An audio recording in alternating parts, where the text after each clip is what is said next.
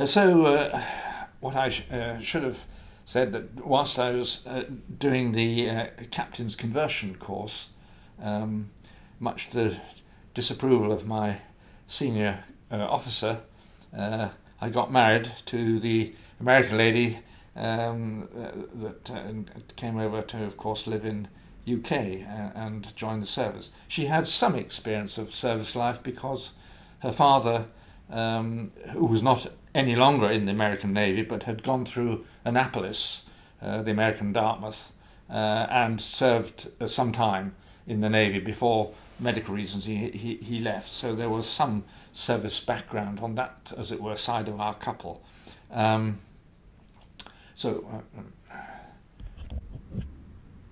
so after two years at, uh, at Benson, uh, I, well, I, I'd already said that I would like to become in, in my various annual reports of what I would like to do next, but was selected to uh, go on the uh, instructor's course. Uh, uh, and at that time, the Central Flying School, CFS, was based at Little Rissington, and of course, a lovely part of the country. Um, so I initially went up to RAF Manby, uh, in North uh, in, in North Lincolnshire to refresh on the, uh, my flying on the Jet Provost. Um, that was fairly concentrated. I forget now how long I was there, but and then from there went to Little Rissington. lived in a charming village, Cotswold Village.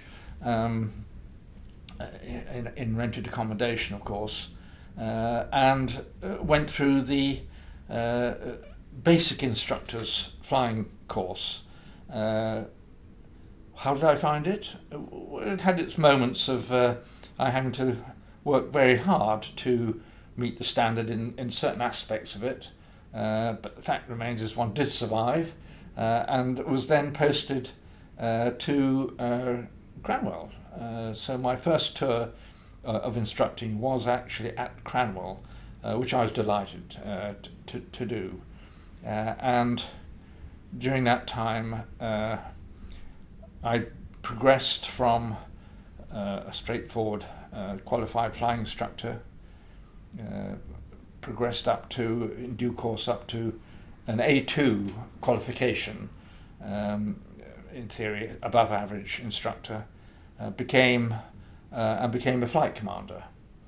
Uh, so, uh, and it was generally, a, well, it was overall a thoroughly enjoyable um, uh, tour. Uh, during that time, uh, there were um, a number of Saudi Arabian Air Force, all princes, one or two now very senior, um, were going through at the time. I had association with one I wasn't his instructor, but when I was a flight commander, I taught him the formation phase, um, and uh, that was Bandar bin Sultan, uh, and his father, uh, Prince Sultan bin Abdulaziz, was the defense minister of the Saudi uh, armed forces. Uh, but uh, Bandar bin Sultan eventually went on to Lightnings and like a lot of the princes who were in the Air Force didn't stay there, they took on uh, uh, various government jobs of one sort or another. And uh, uh Bandar eventually became uh, the Saudi Arabian um, uh, representative in the United States for quite a long time. so that was a sort of an interesting connection as far as I was concerned on, on that tour.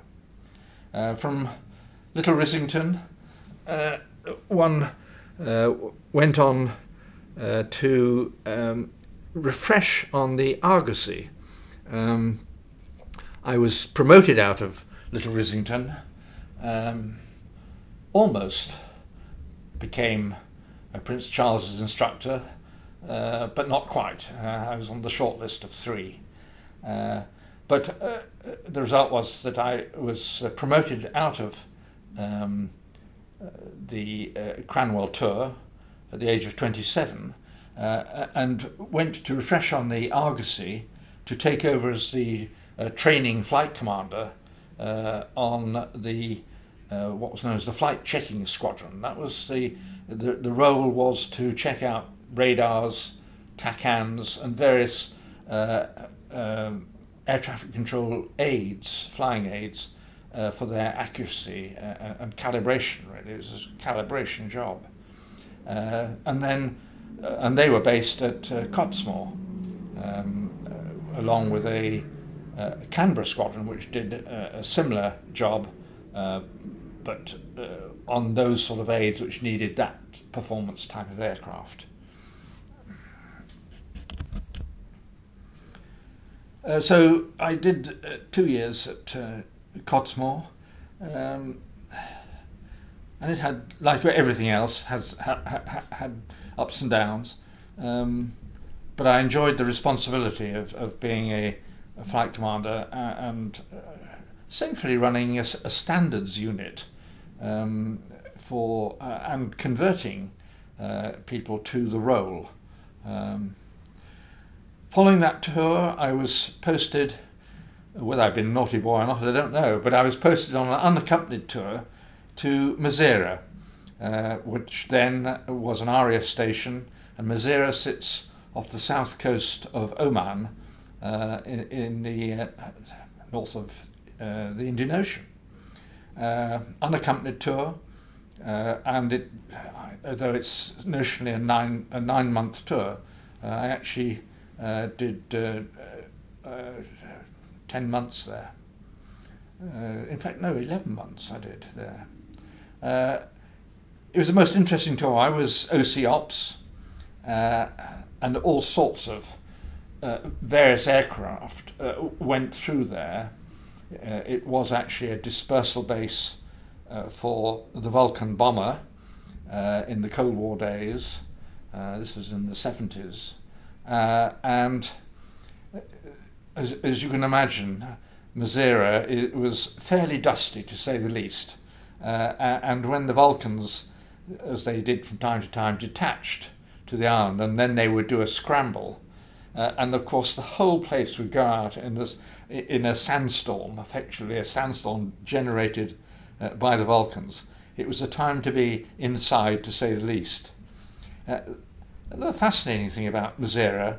Um, it, it's I don't know if it still is, but it certainly was then a major uh, turtle breeding ground, or the or, or the, the, the coastline was, and I I believe some, if I recall, some five species of turtle bred there, some far more than others. The main one that bred there was the loggerhead turtle, and of course, if one had visitors, it was always a good thing in the breeding season. Um, to take them down uh, to to the um, uh, to, to the beach uh, and see the the the hen uh, loggerhead turtles struggle out of the water, uh, dig themselves a nest, and then lay often up to 20, 30 eggs. Um, the locals, of course, that for the locals that was the main source of food. Uh, uh, uh, the uh, the other event within the turtle annual cycle was, of course, the hatching of the eggs, and and that was very exciting to see these these tiny little things push themselves, as it were, uh, to to the sea as fast as they could, but they had to pass a, a line of skua gulls who of course would pick them off as fast as they could. Uh, and we, being uh, thoroughly unsporting, used to chase the skuas away to allow the turtles to get to the sea.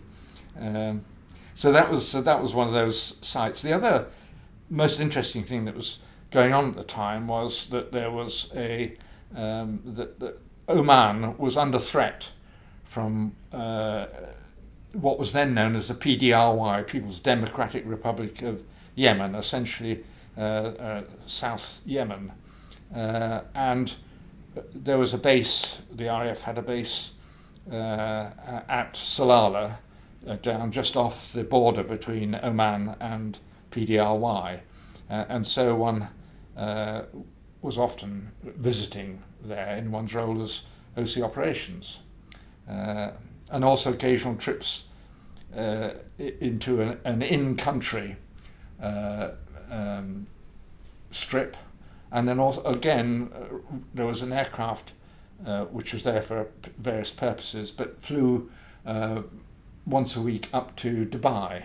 And so it was, uh, I, I, was I, much as I enjoyed Masirah because it was essentially desert, if you like, uh, it was nice also to get into a place like Dubai, which of course then was very much a bazaar uh, with dhows in the harbour, uh, nothing uh, like uh, it looks today.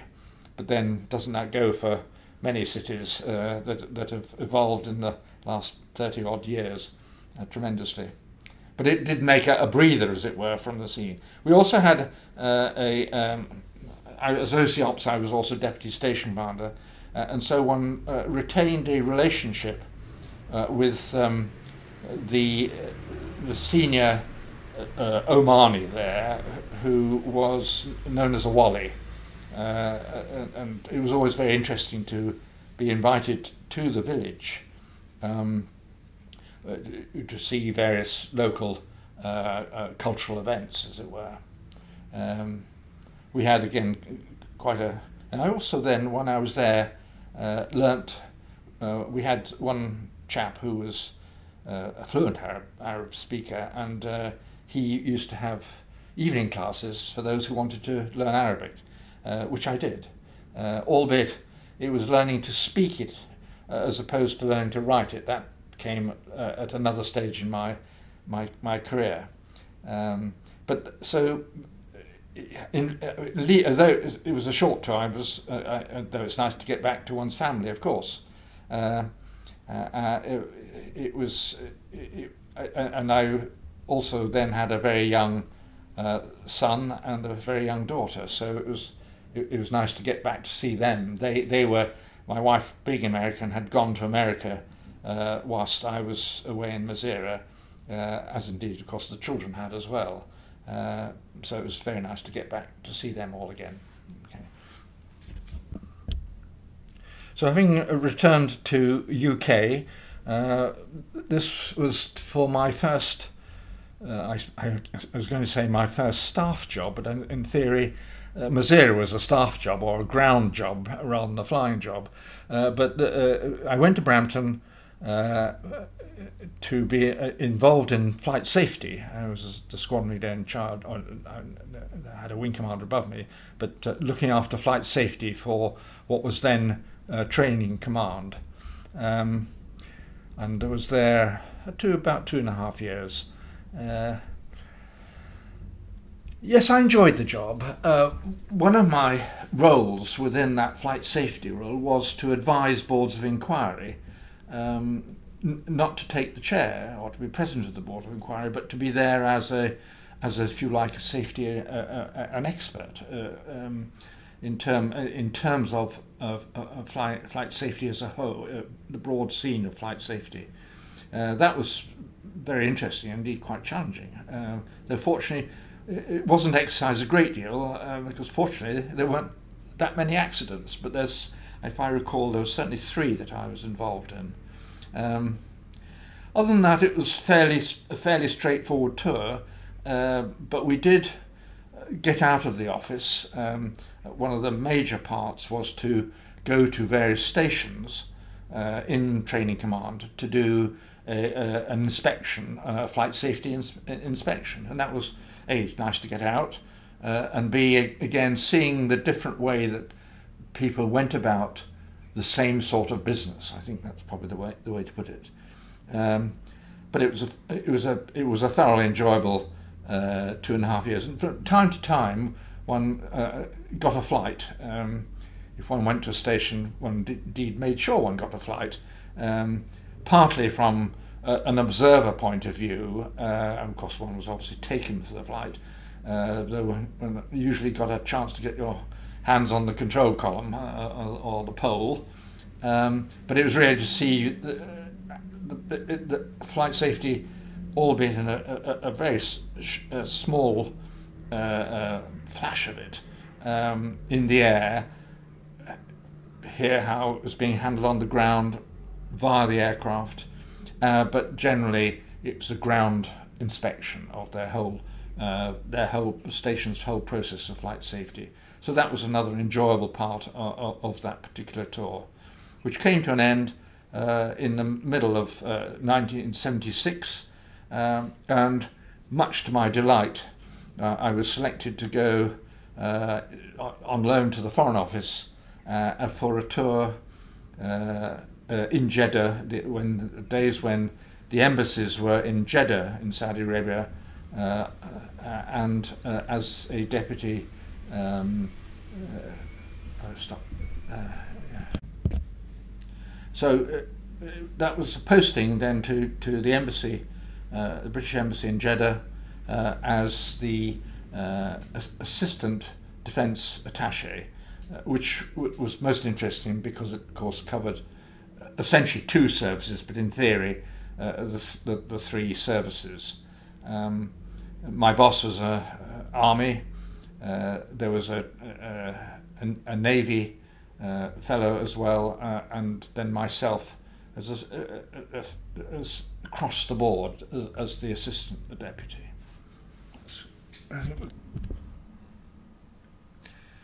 Well, much to my uh, uh, pleasure, I was posted uh, out to uh, Jeddah. I'd always been interested in um, uh, over, uh, and going into different environments. Um, I was posted out as assistant defence attaché, which meant I had a, an interest in all three services.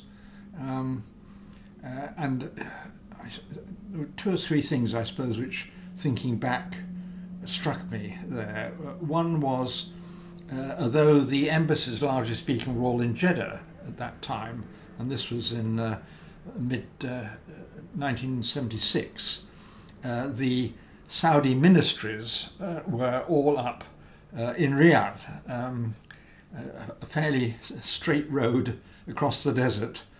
Um, to actually go and do any ministerial work, or indeed, of course, one flew. In those days, one flew first class. Uh, I think uh, the Foreign Office has run out of money since then. Um, but uh, so that was always one thing, and I, I think what struck me hugely was the contrast in atmosphere and, if, if you like, conservatism between Jeddah, which was, of course, a port, had been a port for much of its modern history and therefore uh, was used to, if you like, coping with people from different backgrounds and cultures. Uh, and Riyadh, which was in the middle of the desert, um, very much reflecting the, um, uh, for want of a better word, extreme, extreme interpretation of Islam, uh, the Wahhabi interpretation. So I think that was one of the things that struck me in the very short time I was there. Um, the other uh, interesting thing was that uh, when, uh, in the heat of, uh, of summer in the middle of the desert, the Saudi ministries moved to the, uh, I forget the altitude of it, but high up on the uh, escarpment, which runs north south along the west coast of, of Saudi Arabia uh, to a city called Taif. Uh, and then, of course, rather than go to Riyadh to conduct business with ministries, one drove up to uh, Taif, uh, which was a fairly challenging, uh, given the style of some of the Saudi drivers uh, going up this hairpin after hairpin, very steep road. so that was something else which lives in my memory. the other particular aspect was that uh, uh, the British Embassy was uh, almost on the doorstep of the Bin Laden uh, family's house. Uh, uh, people, of course, more than familiar with Uh, Osama bin Laden, who was brought up by uh, his, uh, um, I think he was a paternal uncle. but the Bin Laden firm were doing a huge amount of building, particularly road building, in Saudi Arabia uh, based on the very substantial increase in oil prices and therefore the uh, increasing amount of income coming into the country. Uh, but uh, uh, the old man bin Laden was very strict. He, he genuinely never did uh, drink. whether it was one was invited down to his very substantial house uh, or, or, he was invited up to the embassy. But there was one uh, visit that I and my boss at the time were making to old man bin Laden's house, and three young men who came in much to the embarrassment of, of bin Laden. Um, uh, somewhat worse for wear for the odd sip of alcohol. Uh, and uh, uh one subsequently learnt that one of uh, we were introduced to them, but then of course the name has since become and one of them, he would have been about mm, 15 years old, I think, was Osama bin Laden. long before, well, he was obviously mischief making then in the sense of drinking alcohol when he shouldn't have been, um, and certainly his paternal uncle uh, thoroughly disapproved. Uh, but I think those are the sort of particular memories of, of, of Jeddah that I have. Unfortunately, I had to leave my uh, son, uh, who, who, was uh, happened to be in America at the time, uh, as a, a, young eight-year-old, because his mother was American, became ill, and therefore my tour um, to go back and support my wife and help cater with his illness was foreshortened. So I uh, barely spent a year out on that particular tour.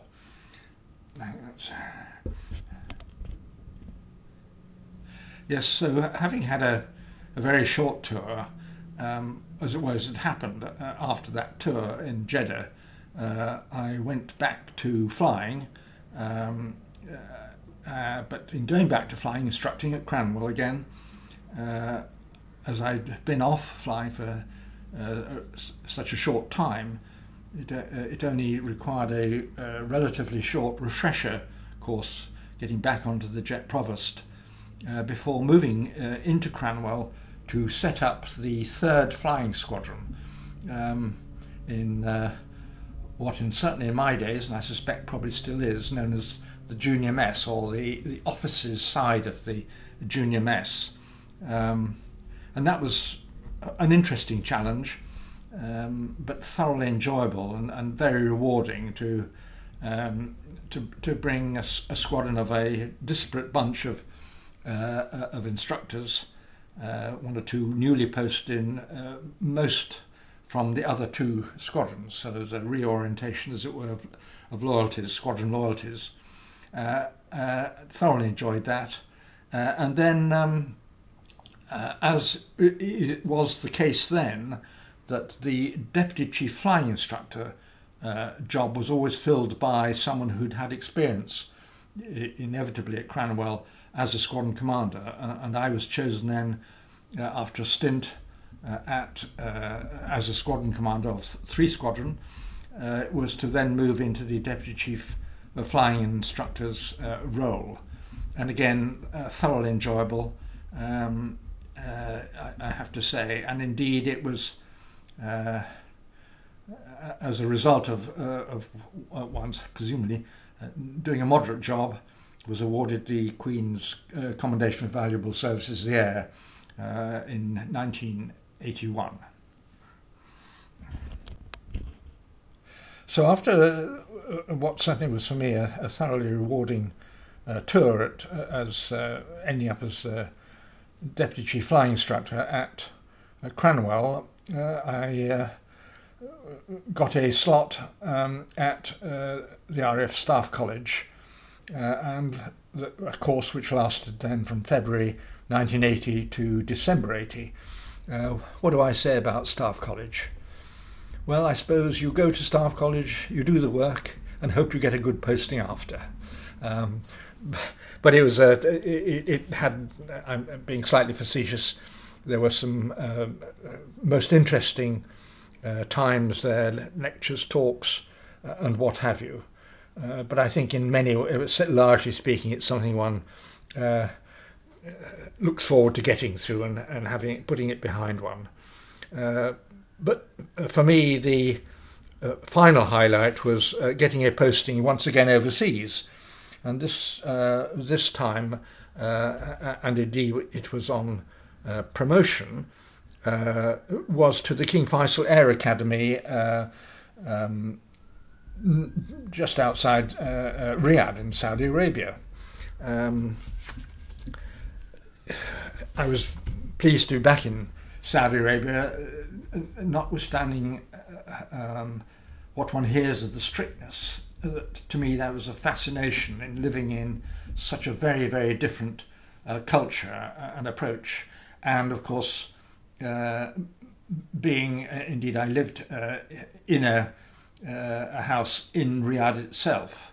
Um, so that made it very interesting. And I also had a, uh, met a guy who is still a, a close friend, who ex-army fellow, who who was helping a minor prince to run a farm uh, south of Riyadh. So that gave one a nice breather, and he enjoyed uh, expeditioning out in the desert. So uh, and he essentially taught me uh, very much about uh, the desert and living in the desert. Um, the interesting thing, I guess, uh, at the King Faisal Air Academy, they had a, a, a the colonel who uh, I can't remember whether he was commandant or he was a sort of senior, uh, uh if you like, chief flying instructor. Um, the flying instructors were all largely retired. It was British Aerospace, as it was then, um, uh, running the contract to provide flying training for the, the Saudi the Saudi cadets uh, and, and, largely speaking, probably to a man, were all retired uh, Air Force pilots. Um, but it turned out this colonel uh, did not uh, like being advised. Um, uh, I think he, well, he, he considered it was somewhat colonial an approach on the part of having a Brit to um, to, to, advise uh, him, who had was indeed fairly pretty experienced. Uh, and he eventually managed to persuade, uh, obviously in first place, the, the, Saudi Air Force and then the Saudi government uh, to to uh, um, arrange to close down uh, the particular slot, the post that I was filling. So uh, my posting out to Saudi lasted a year, April 81 to April 82. Um, but it was, although one was very sorry to be leaving, um, uh, that's the way things go, I suppose, is the best say. I then went back, went, uh, came back to UK for a very short period, really uh, awaiting uh, a proper posting, was to uh, fill in uh, on a, a, a, temporary job at headquarters strike at High Wycombe, just for from May to September 82, before much to my delight, uh, getting another uh, posting overseas, uh, and this time uh, to the High Commission uh, in New Delhi. Um, again, um, it, it, was India was very well. I hadn't been to India, as simple as that. But it um, again presented a different environment, a different culture, all of which, uh, as I've said before, I very much much enjoyed being in. Uh, and that tour um, ran from September 1982 uh, to April 85. And another of the things that always uh, remains in my mind uh, at my very short time in Jeddah, uh, it was legal for embassies to bring in alcohol, uh, provided that was bought in without any embarrassment uh, to, to the Saudi Arabian government.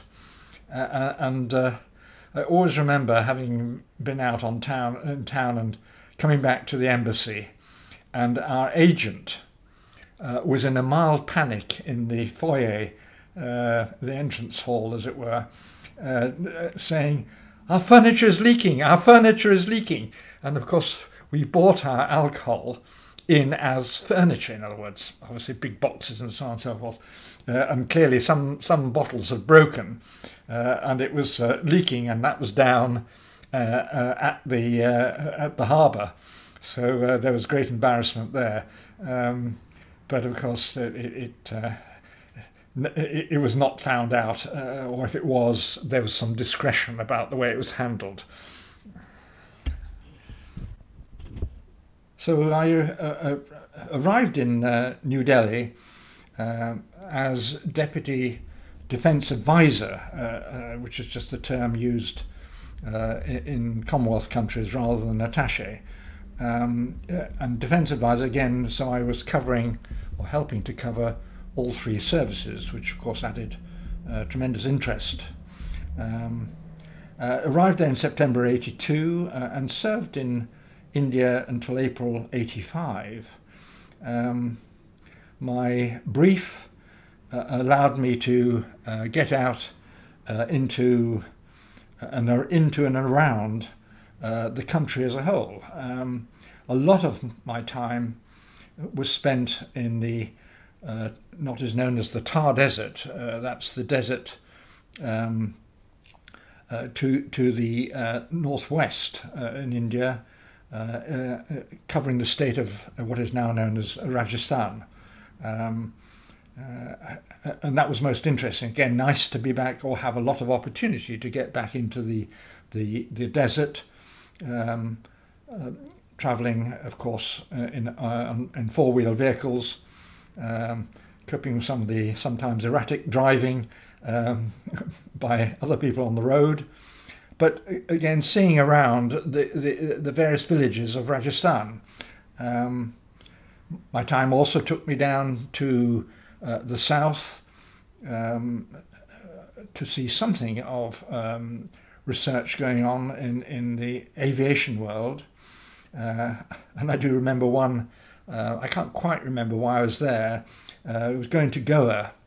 Uh, and Goa was a place where, in the days of the Soviet Union, uh, good communists were sent for a holiday as a reward for being good communists uh, in the party. Uh, uh, and I always remember in the swimming pool there, there were some, how do we put it, large ladies in bikinis who took great pleasure in leaping into the water uh, and talking about tsunamis created. It did give one uh, the feeling that uh, one could drown at any minute. Um, And the other uh, element, uh, part that I travelled, uh, well, I say quite a lot, a, a lot to, was uh, into the Himalayas, and, and, and that uh, served as a, a spiriting introduction to, to the Himalayas, and indeed, in much, much later in life, um, I, have continued to visit the Himalayas on various trekking expeditions or supporting my son uh, climbing uh, some of the uh, 8,000 meter peaks uh, uh, and so on. But it was it was again fascinating to see um, the varying cultures, particularly as you got in the hills. I, I never visited Nepal then, but again since and much later life uh, was until recently a relatively reg- irregular visit visitor to, to, to, Nepal, but it was served as an introduction to, uh, uh in the broadest sense, uh, Himalayan village culture of one uh, cultures uh, of, of one form or another. Yes, a couple of particular highlights. Um, during my time in, in uh, New Delhi um, was the Commonwealth Conference uh, to which uh, Her Majesty the Queen uh, visited. Uh, and I had the uh, honour of being her ADC for an award awarding ceremony. Um, uh, another time, uh, which was a, a, particularly difficult time, was of course when Mrs. Gandhi was killed, um, and uh, again, uh, Princess Anne came out to represent Her Majesty uh, uh, for um, Mrs. Gandhi's burial ceremonies, and it was very fascinating and interesting to meet her. Uh, uh,